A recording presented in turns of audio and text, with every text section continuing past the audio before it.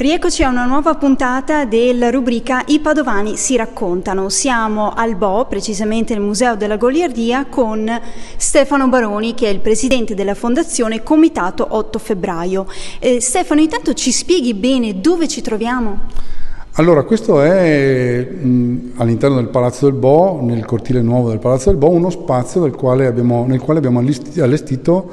un museo che racconta la storia della goliardia. Dall'inizio, dal 1222, non è tanto lungo, eh, dal 1222 fino ai tempi nostri e qua si possono trovare 300, 350 circa eh, oggetti che raccontano eh, che sono i vestimenti, i mantelli, i cappelli, i papiri, eh, gli strumenti della, della banda goliardica e molti documenti che raccontano e fanno rivivere attraverso dei totem espositivi, eh, perché qua si può entrare quando si vuole, quando, quando Palazzo del Bo è aperto, fanno vivere l'università con l'occhio degli studenti e nel tempo, nei secoli. Ecco, per chi non la conoscesse bene, che cos'è la goliardia? È una bella domanda, questa, ci metterei 45-50 minuti solo per questo. Allora, la goliardia è uno spirito, è uno spirito di fratellanza, è, è condivisa dal momento che si diventa studenti eh, universitari, che si decide di entrare in un certo tipo di mondo, che è il mondo dei goliardi, di avere e di sposare un certo tipo di spirito, che è quello della satira, della burla, della, della comunanza di eh, divertimento in primis,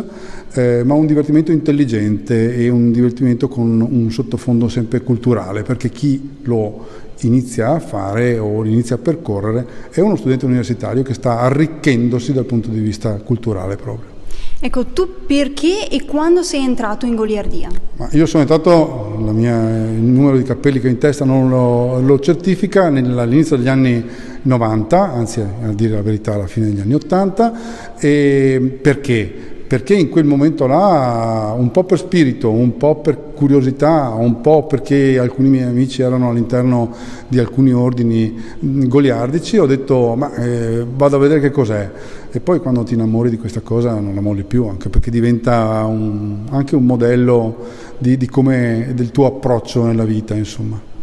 Ci racconti lo scherzo più divertente che hai organizzato? Allora, eh, io ne ho visti tanti di scherzi, ne ho ideati alcuni insieme a un gruppo, sempre, gruppi di, di, di, pazzi furiosi che si mettono intorno a un tavolo e, e, e, pensano a che tipo di burla fare. La più rilevante, quella che ci ricordiamo in maniera molto, molto veramente molto divertita,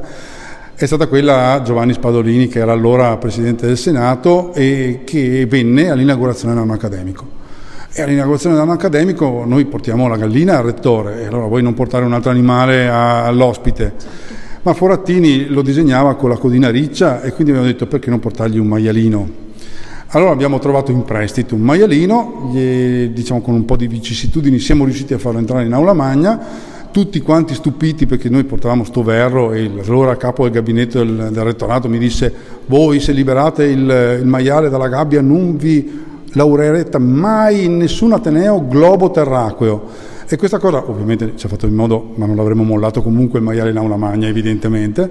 però Giovanni Spadolini molto divertito disse ah bello bello, dico, vabbè, noi abbiamo fatto un dono noi, adesso lei deve offrire da bere a tutti, venne giù al bar, portammo Spadolini qua al bar e a un certo punto Spadolini diede ordine di portare il maiale di caricarlo sul furgone della Polfer e se lo portò via, peccato che noi non l'avevamo comprato, l'avevamo preso in prestito, 125 mila lire, ce lo ricordiamo, ce lo siamo ricordati per tanti tanti tanti anni ma ci restituì la cassa, che non era nostra, piena di ogni ben di Dio, per cui noi a dicembre festeggiammo eh, a, e brindammo in suo onore ricordando il momento della consegna del maiale e ci accompagnò la, la, cassa con un meraviglioso biglietto che è una delle cose che voi potete, potete trovare qua dicendo molti auguri di buon Natale e comunque un, po', un post scriptum con scritto e comunque il maialino sta bene.